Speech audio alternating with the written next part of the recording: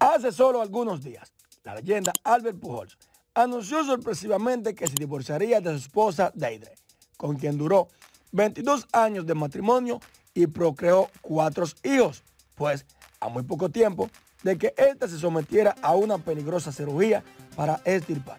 Un tumor cerebral descubierto en octubre, Pujols dio a conocer la noticia, una de las razones por la que muchos entendieron que no era el momento para dar a conocer esa decisión. Esto, el dominicano lo hizo a través de un comunicado en el cual especificó que trató de evitarlo orándole al Señor como buen cristiano devoto que era, pero que no pudo lograrlo.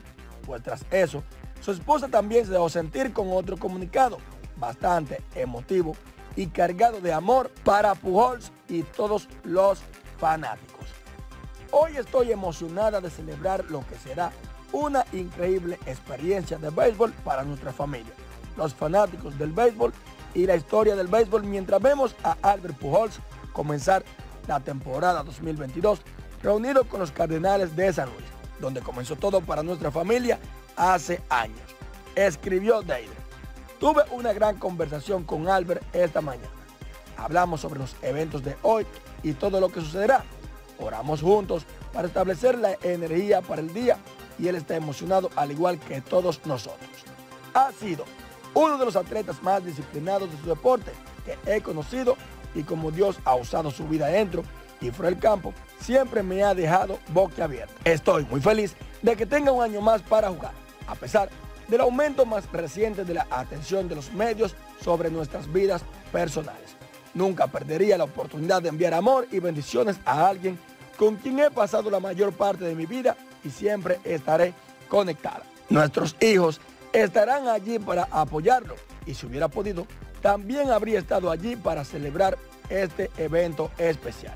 Sin embargo, estaré allí en espíritu y observando desde casa mientras continúo con mi recuperación de la cirugía. Gracias a todos los fanáticos que han visto y apoyado su carrera histórica. Probablemente nunca volveremos a ver a nadie hacer lo que Albert ha hecho en este juego en nuestra vida.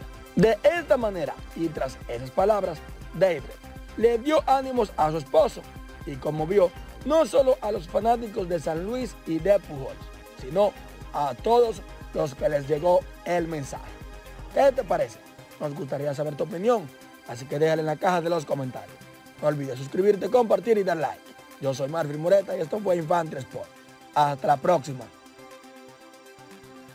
The apocalypse.